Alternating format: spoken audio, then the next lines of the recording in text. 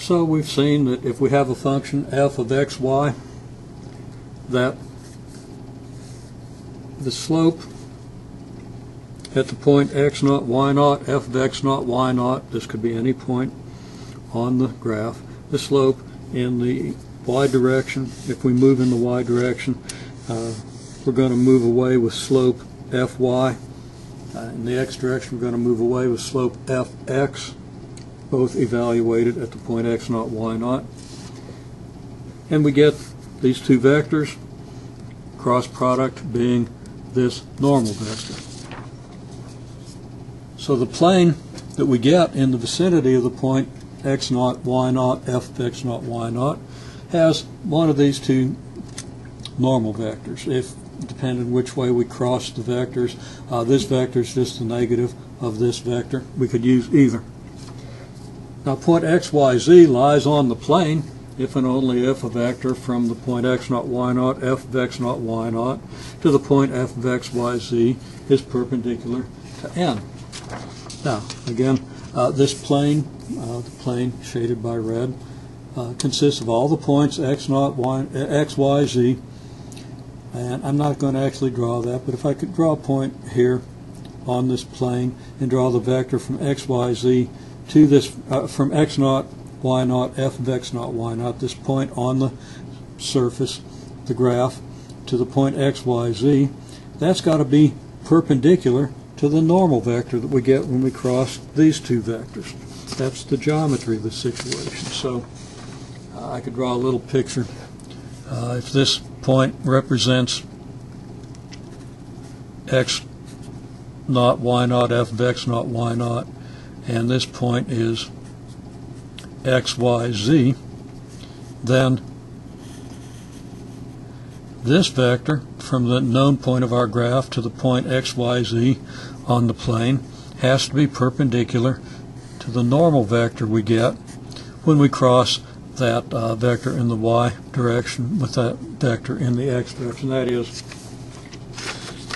when we do the cross product of this vector with this vector. And I'll indicate that normal vector, that cross product, this way. And in terms of the picture, this one appears to be going up in the z direction, so I'm going to use this version of the normal vector. It wouldn't make a bit of difference if I used this one. Uh, the equation's going to come out the same way. Um,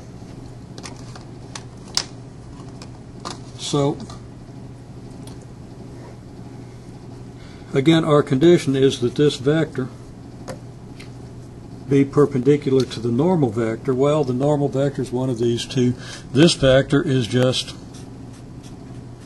x minus x naught i plus y minus y naught um, j plus z minus z naught k, where I've used z naught instead of f of x naught minus y naught.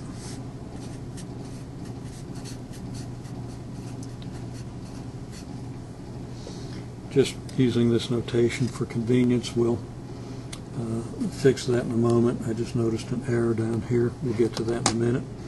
Okay, well, uh, that vector then is this. We dot that with our normal vector, and we get this.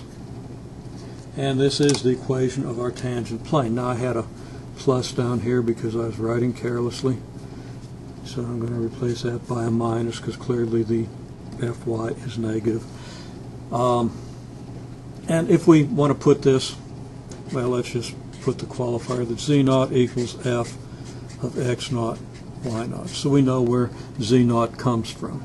This means we can choose any point X naught, Y naught in the XY plane, evaluate the function at that point, and call that value Z naught. That gives us a point x naught y naught f of x naught y naught or x naught y naught z naught on the graph of the function. Point x, y, z is on the graph provided this vector is perpendicular to the normal vector that we previously calculated. And this is not a formula to be memorized. This is a process to be understood.